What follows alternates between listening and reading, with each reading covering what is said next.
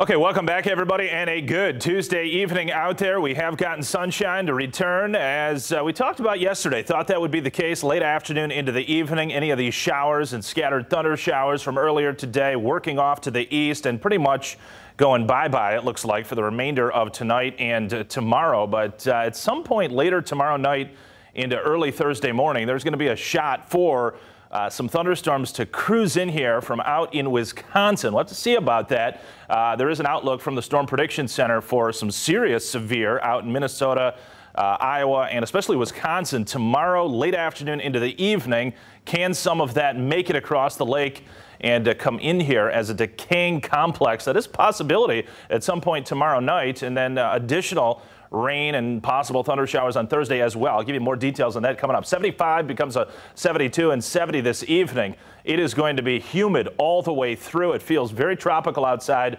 That is a certainty. The humidity actually does come down a little bit, it looks like, for tomorrow, just marginally. I mean, dew points around 70 today, come down to maybe 66, 67. Tomorrow, you probably won't notice a whole lot of a difference, but uh, you can notice a difference with the sky condition.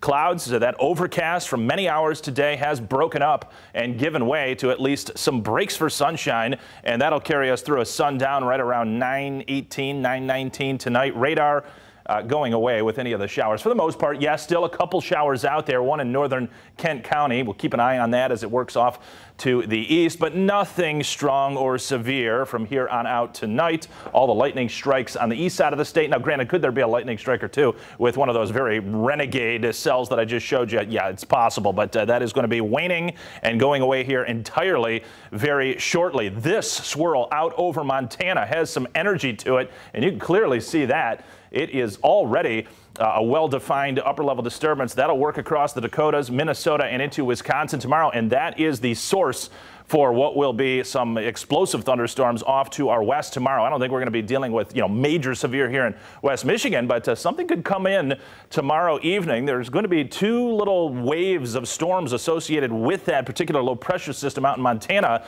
One of them tries to come in mid to late evening tomorrow, probably dying as it does so, and then a second one overnight into Thursday morning. So uh, possible storms on Thursday. Uh, I say Thursday, meaning all day, really, because the morning could see these decaying storms. Then the afternoon, we could flare a few more showers and thunder showers as the entire system kind of grazes across the Great Lakes region.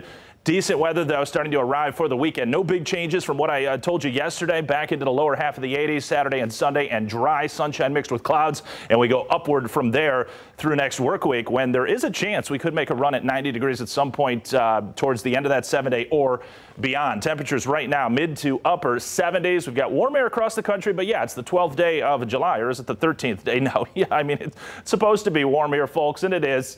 Uh, but we're technically below normal. We've got all this humidity, though, so kind of a compensating factor to make it feel pretty warm.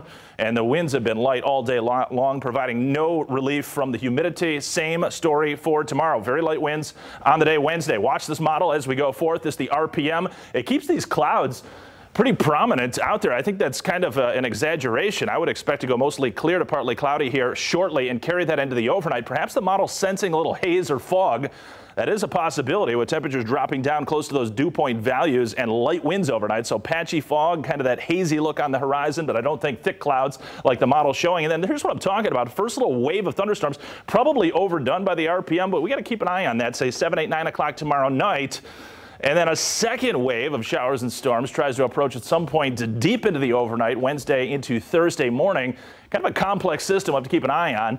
And then as the whole deal works across on Thursday, hinging on whether some sun can pop in there, which is a big question mark, additional thunder showers could pop at some point Thursday afternoon. So a lot to kind of iron out as we go forth. But much of Wednesday, Wednesday is going to be dry. And there's the nicer weather, Janice and Ryan, towards the end of the seven-day period. Just hang in there for the weekend, like usual. Anthony, thanks. Still ahead, a local